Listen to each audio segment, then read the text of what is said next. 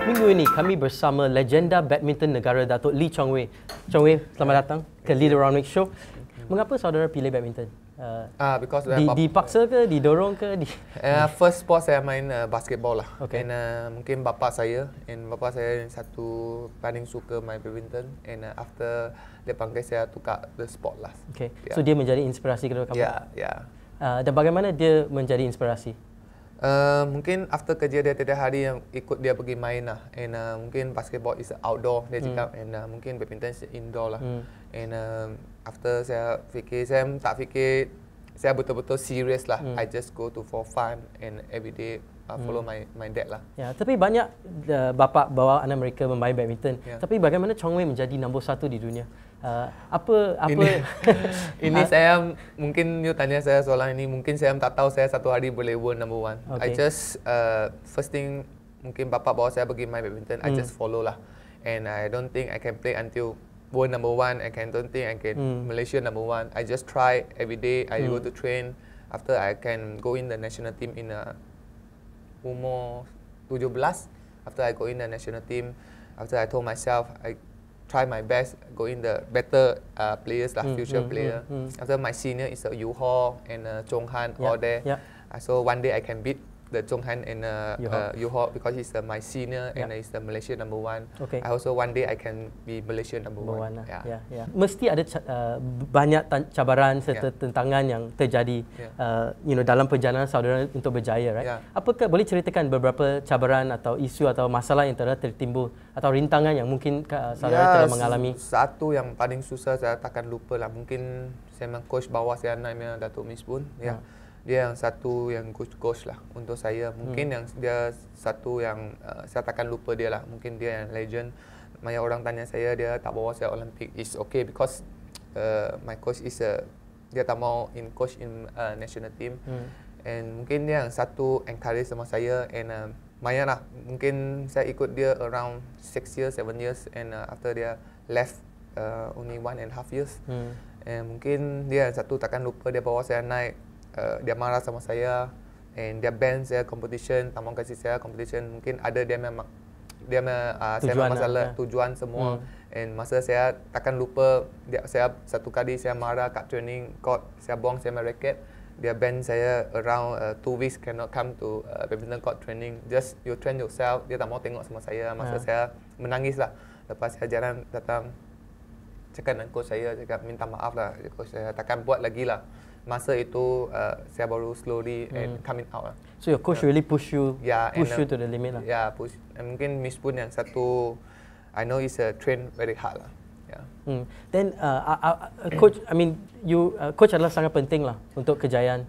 Uh, Boleh first dikatakan- ya mungkin coach yang paling penting lah. And second yourself lah. Hmm. Mungkin um, satu yang good coach, you tak mau train, dia tak boleh buat apa Ya, kan. ya. Yang paling penting itu diri sendiri. Ha. So Ya. bagaimana kamu mendorong diri sendiri setiap hari sebab training mesti susah kan? Ya. Setiap hari kena push push push push push. Bagaimana kamu mendorong diri atau Ya, mungkin uh, first day saya ikut uh, Datuk Miss Pun, dia datang, dia tanya sama saya, apa you perlu? Dia tanya sama saya. Lepas saya cakap, uh, first saya cakap, satu yang saya perlu wang. and dia yang cakap, dia tak tanya, dia yang senyum. And second, and saya cakap, saya perlu wang beli kereta. And so kereta mendorong kamu lah? Ya, and I start and dia tanya saya apa you mau. Lepas saya cakap I I want be Malaysia number one. Hmm. Okay, lepas dia dia, tan- dia cakap sama balik, dia tanya and you can give me your time, can give in your fitness. Saya cakap I dia tanya sama saya, saya cakap yes, I Hmm, can, I can give you. Hmm, hmm. And after he give me, I try, try, try every day and I train hard. Hmm. Uh, masa dia panggil bawa saya pergi training, saya menangis. After saya cramp, dia tak mau tengok sama saya. Dia pulang, semua dia balik.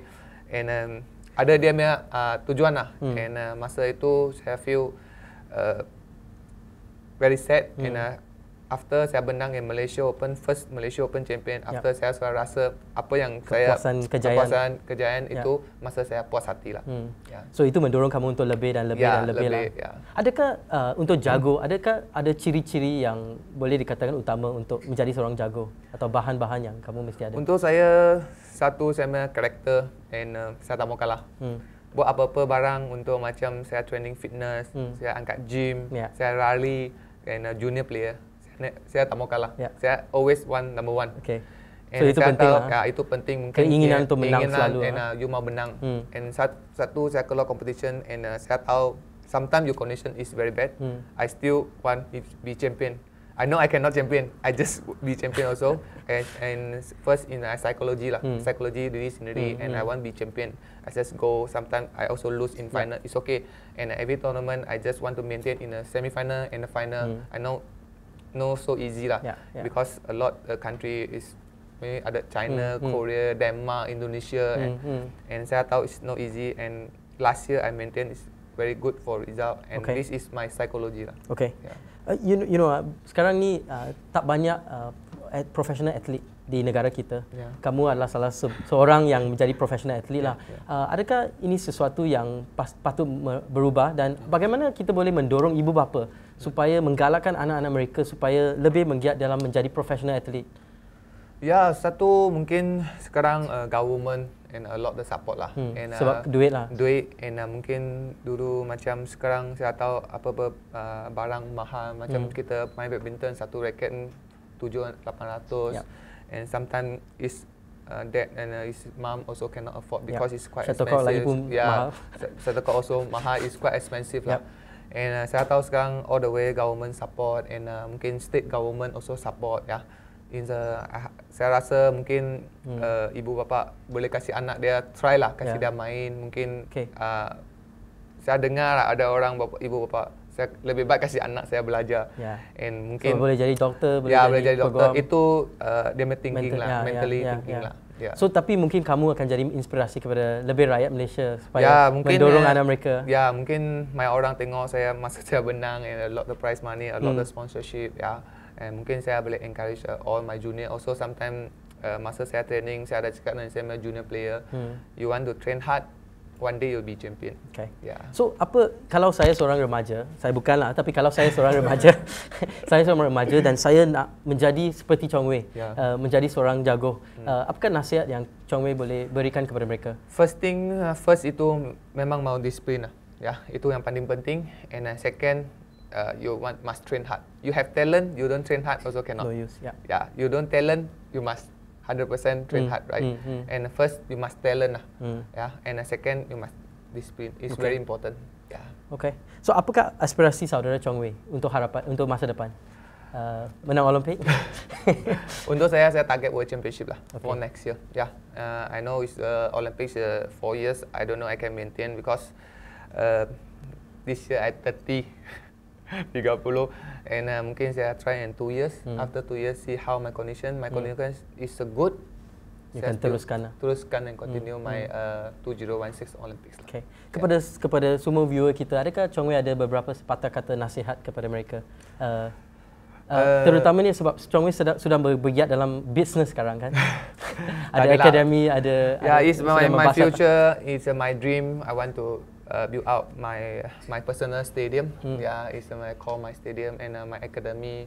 Mungkin saya mau uh, satu uh, mungkin mau orang cakap mau ca- cari yang second Lee Chong Wei kan bukan senang ya. Tapi Second saya, I hope so I can uh, try my best and Hmm. help for country Hmm. and uh, help also badminton association and Okay. uh, help for Malaysia sports lah. Okay. Yeah, Thank you Chong Wei. thank you. We've been with Lee Chong Wei on the Leronomics Show.